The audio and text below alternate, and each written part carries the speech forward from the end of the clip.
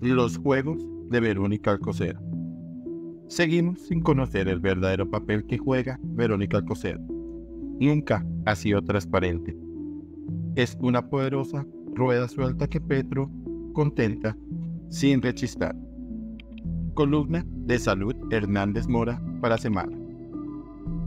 Concluyó el periodo legislativo y los presidentes del Congreso y Senado alardearon de lo bien que realizaron su trabajo, como si las acusaciones de corrupción se hubieran evaporado. Oír a Andrés Calle presumir de su labor te deja perplejo. ¿Dónde quedaron los mil millones que Sneider Pinilla asegura que le entregó en su apartamento monteriano para engrasar dicha labor? Igual se pavoneó Iván Name por su actuación marcada dijo por equilibrar todas las intervenciones y los presuntos 3 mil millones que le dieron, según Pinilla, para potenciar la maquinaria aliada del petrismo.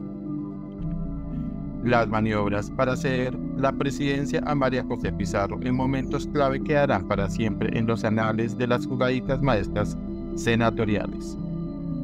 Como pasa de todo y no pasa nada, cayó el telón del teatro legislativo Empiezan vacaciones y cambiarán las presidencias y mayores contratiempos.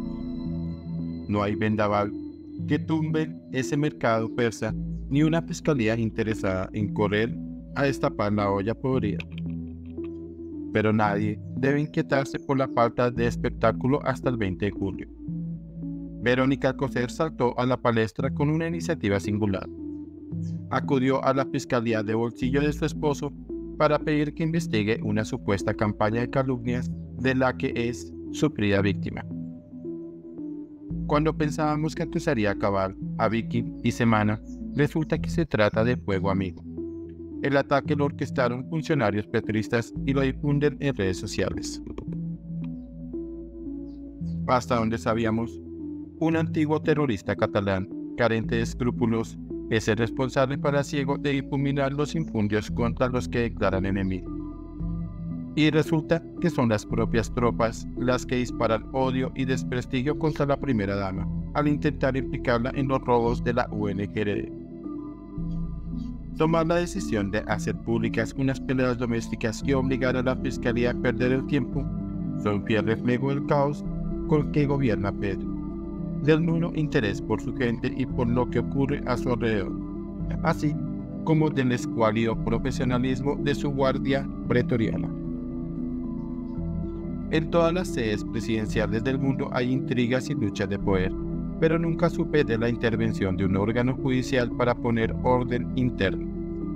Sería irónico que una fiscal que ha pasado de puntillas por el caso Marelvis con policías detenidos y un fallecido se le vaya a meter todo a una cuestión que solo atrae al matrimonio presidencial y a su relación personal. Sigo pensando que Alcocer, que ya no cuenta con su asesora de cabecera de marketing político, no ha cejado en su candidatura de 2026. Estará convencida de que sus rivales zurdos estén sembrando minas para dañarle el caminado. Puesto que los expertos en política palaciega señalan a María José Pizarro como la favorita de Petro, ¿Están sus francotiradores asestando golpes a la dama? Verónica acaba de retornar de Suecia, en donde, según le contó a Darcy Quinn, la EPM de RCN, María Elena Romero, la mano derecha de esas líderes, alargó la estancia para completar tareas de cooperación en Suiza que Petro dejó inacabadas. Recuerden que le dio un súbito deseo de desairar a Ucrania y se devolvió a Colombia antes de tiempo. No especificó en qué consistía la misión, fuera de recurrente agenda de cooperación internacional, ni qué fines personales persigue y por qué ejerció funciones que no le corresponden. No podemos dejarla sola en su tarea de ayudar a los demás, escribió Romero, con un exceso de lambonería, para justificar que la acompañara en la gira pero seguimos sin conocer el verdadero papel que juega Verónica Alcocer.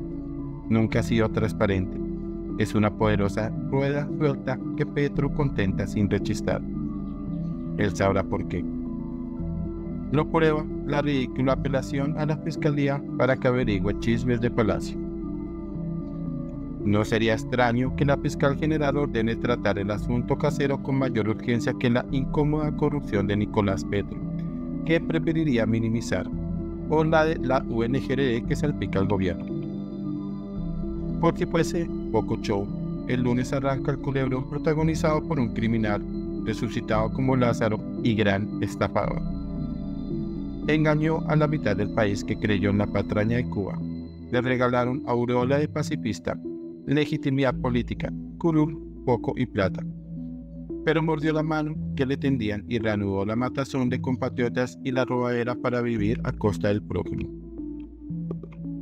Y como en este país ambas actividades son irrelevantes, vuelve a brindar una vitrina mundial a Iván Márquez, un sujeto que disfruta, tanto como Petro, pronunciando discursos rebosantes de cinismo y cursilería barata. Para completar la mascarada, la Iglesia Católica corrió a bendecirla. Debe ser que para el Vaticano los malvados, los irredentos pecadores, somos los que criticamos tamaña patraña que tendrá lugar en el escenario perfecto. La tierra del tirano venezolano, socio de Vladimir Putin, para lavarle la cara y mostrar que solo anhela la paz planetaria.